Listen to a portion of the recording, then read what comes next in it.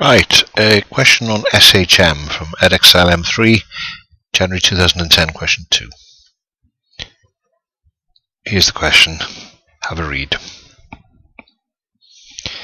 So for this question on SHM, you're going to need to know some of the standard formulae. And the first thing you're going to need to know as you read through the question, you're going to have to recall t equals 2 pi over omega because you're told the time period the time period is 2.4. So that's going to allow us to find omega.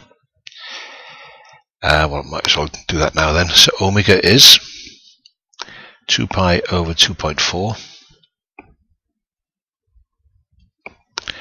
or 5 pi over 6. The other thing you're told is when t is naught, p is at the center. Now, that means you can call up the expression for displacement relevant to this situation where it's starting from the center of oscillation and that form is x equals a sine omega t. So it's x equals a, we don't know the amplitude yet, sine of 5 pi over 6 t. That's the expression for displacement. They tell us one more thing. When t is 0.4, v is 4. Now, you've got an expression for v in terms of x in SHM.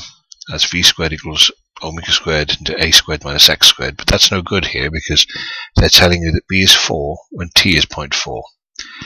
So what you have to do here to bring in velocity in terms of time is differentiate the x expression you've got here to get v, which dx by dt. So v, differentiating sine to get cos, we get a times 5 pi over 6, check this carefully, cos 5 pi over 6t. Now, we can use that because we know t is 0.4 gives v is 4 we can use that to find the amplitude. So, let's put things in. Over on the side here, 4 equals 5 pi over 6 times a times cos of what will we have when t is 0.4 you get the cos of 2 pi over 6 in other words pi over 3 so that gives us 4 equals 5 pi over 6a times a half. Just check these steps. And then rearranging that, we get the amplitude is 48 over 5 pi. Now that wasn't specifically asked for in the question, but we needed to find that because part A of the question asks for the greatest speed of p. And this is another thing you need to recall now then, for the next page, Vmax equals a omega.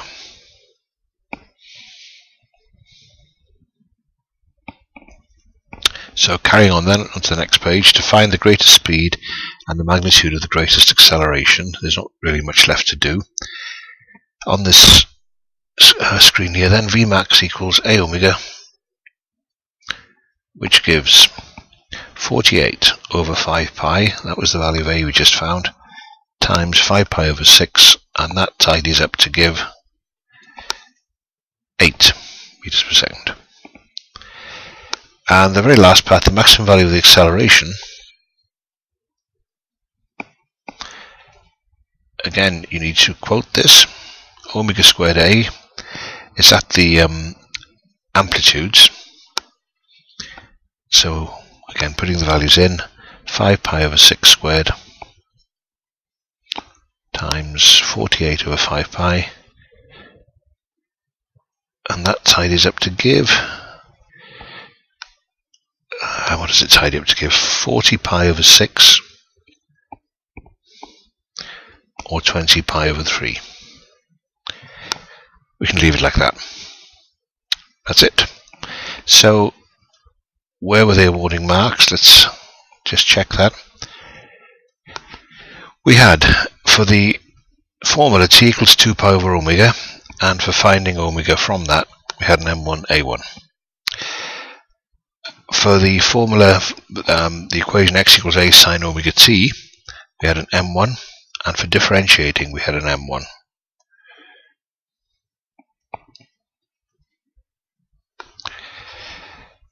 Uh, for putting the t equals 0.4 in and finding the um, and using that to find a, we had let me be, just be careful here. we've got that's right. We got an a1 for that line, and we got an m1 a1 for here.